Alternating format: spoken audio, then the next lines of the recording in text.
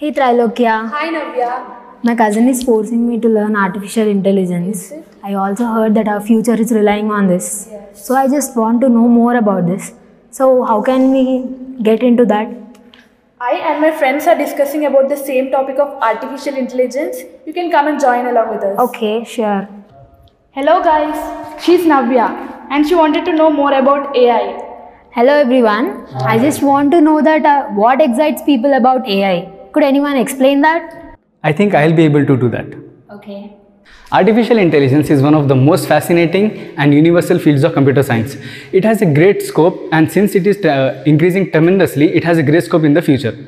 As the name suggests, artificial intelligence holds the tendency to make a machine think like a human. Artificial intelligence has been around for a very long time, like uh, helping us proving theorems and even playing games like chess. Some movies that have, that have depicted artificial intelligence are like Vision in Iron Man and Marvel movies, and even uh, Vision and Ultron. Even some Indian movies like Robo and Ra.One depicting Shah Rukh Khan and Rajnikant have also depicted artificial intelligence very beautifully. AI seems so complicated. How do we get familiarized with AI? Okay, I will try to explain about it. To begin with the AI, first you, we need to know about the search algorithms in AI.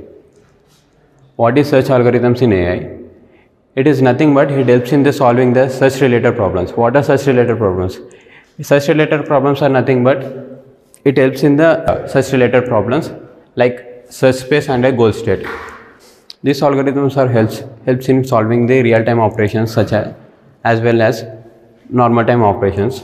Basically, they are classified into two types uninformed and informed search.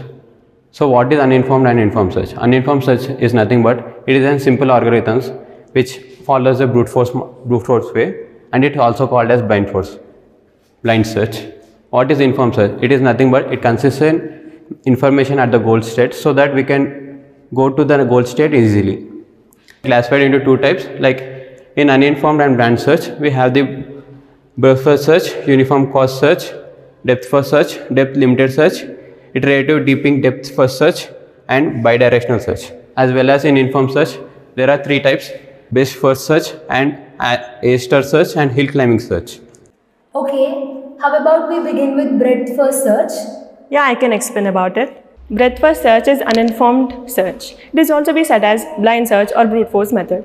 Before going in depth, what is breadth first search? We have to know what are uninformed and informed searches mean. Uninformed search is that it doesn't have any additional information about the following states or it only does have a procedure. Whereas informed search is that it does have a procedure along with some additional information. Now, now what BFS is that? BFS is the most common search strategy which is used for traversing the tree or a graph. This algorithm searches breadth-wise, that's why it is called as breadth-first search. In this algorithm, it starts with an initial node and then it proceeds to explore all the nodes adjacent to it. So this algorithm, what happens in this algorithm is that it starts traversing in the level-wise order, which uh, doesn't go down the level until the, all the nodes in the level are explored. So this algorithm searches will be implemented using the queue data structure and it uh, follows the first in first out principle. You know there will be two ends for a queue. One is used for inserting the data, one is used for deleting the data. Inserting data is called the enqueue operation, deleting the data is called as dequeue operation. So let us take this as an example and let us see how we can write an algorithm for BFS using the queue data structure. So this is an algorithm. So what happens is that step 1 if you visit the first level you have to enter it into the we have to enter that first element onto the queue. This is the step 1. What happens in step 2 is that if the queue is empty then return fail and stop.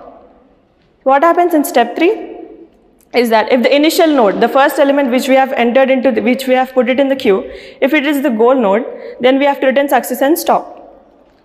Fourth step, if initial node is not the goal node, then we have to remove and we have to explore its children and then put those children into the queue. Step 5, you have to keep traversing the graph until you find the goal node. So this is about the algorithm. So why we are using this algorithm is that we have, uh, we have to find the shortest path while traversing. So it gives us the shortest path. That's why we are using this algorithm. We understood the algorithm. It will be more clear if we go with an example. I will take up it. For the example's sake, I am considering this graph. Let us take A as initial node and G as a goal node. That means we are searching for G right now from the point A. For this, we have to consider a empty queue first of all.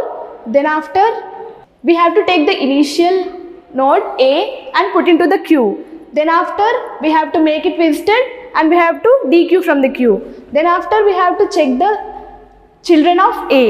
Those are B and C. And the both B and C should be sent into the queue. They are here.